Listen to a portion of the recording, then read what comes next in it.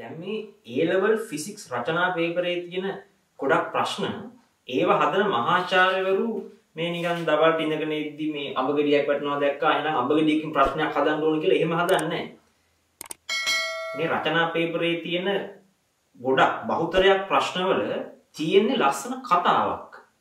ඒක ලස්සන කන්සෙප්ට් එකකට තමයි තියෙන්නේ. ප්‍රශ්නයක් මුලින් පටන් ගත්තාම කරගෙන කරගෙන යද්දි මේ ප්‍රශ්නේ ගලාගෙන යනවා. එතකොට අපිත් මේ ප්‍රශ්නයක් කරද්දී පළවෙනි කොටස දෙවෙනි කොටස ඔහොම කරගෙන යද්දී අපිට ෆීල් වෙන්න ඕනේ මේ ප්‍රශ්නේ හදපු කර්තෘ අපිව ගෙනියන්නේ මොන පාරද කියන එක. ගොඩක් අය කියන්නේ ලොජික්ස් තර්ක භාවිතා කරාම ඇති ෆීලිංගස් නිකන් එහෙම නිකන් කිසි වැඩකට නැති දෙයක් කියලා. නමුත් එහෙම නැහැ. අපිට මේ ප්‍රශ්නේ විසඳගන්න තර්ක වගේම ෆීලිංගස් කියන දෙකම ඕන වෙනවා. මොකද සමහර දේවල් තර්කයකින් විසඳන්න යද්දි ගොඩාක් වෙලා යනවා. ෆීලිංගස් වලින් එක බොහොම ෂණිකව අපිට උත්තර වලට යන්න පුළුවන්.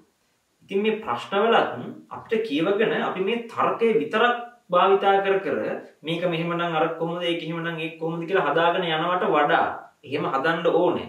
එහෙම හදාගෙන යද්දී ඊට කලින් අපිට ෆීලිංගස් යූස් කරලා අපි අපිට දැනන ෆීලිංගස් තියෙන්නේ. ප්‍රශ්නේ කියවද්දී ඒකේ තියෙන රූප දකිද්දී අපිට නිකන් ෆීල් වෙන්න ඕනේ. මේ ප්‍රශ්නේ හදපු කර්තෘ අපිට මොකද්ද මේකෙන් කරන්න කියන්නේ කියන එක. අන්න එහෙම ෆීල් වුණාට පස්සේ මේ ලොජික් තර්ක භාවිතා කරලා ලස්සනට ප්‍රශ්නේ විසඳ ගන්න පුළුවන්.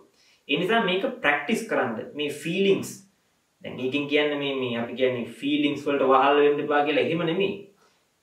ෆීලිංගස් වලින් කියන කියන හැමදේම කරන්න කියලා නෙමෙයි කියන්නේ. ෆීලිංගස් කියන එක අපේ වැඩ කරගන්න තියෙන ටූල් එකක් විදිහට පාවිච්චි කරන්න.